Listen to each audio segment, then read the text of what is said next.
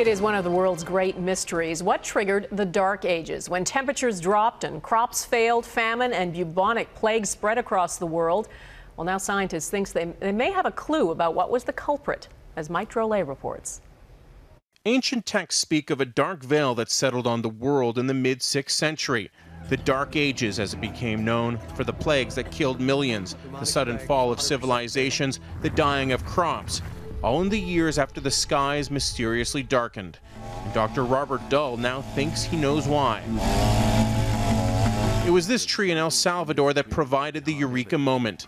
Dull believed it died in 536 AD when a volcano under Lake Ilopango exploded sending so much ash into the atmosphere, it was carried to the other side of the world. By any uh, measure, it's, it's one of the largest, uh, one of the five or, or six or so largest volcanic eruptions on Earth in the last 10,000 years.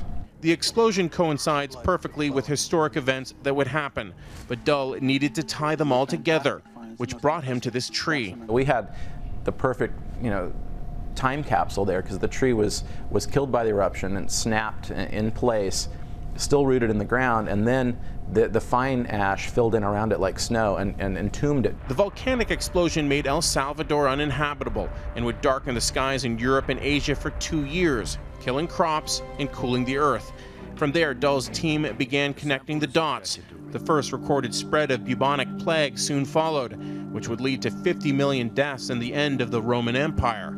In the modern era, we got a taste on a much smaller scale in 2010, when ash from an Icelandic volcano disrupted flights for weeks. And events that happens on one side of the world can have global consequences. And we see that today with, with natural disasters. Did the Ilopango volcanic explosion start a chain reaction of events around the world? More study is certainly needed. But for the first time, scientists have hard evidence of an event that could be the first link in the chain. Mike Drolet, Global News, Toronto.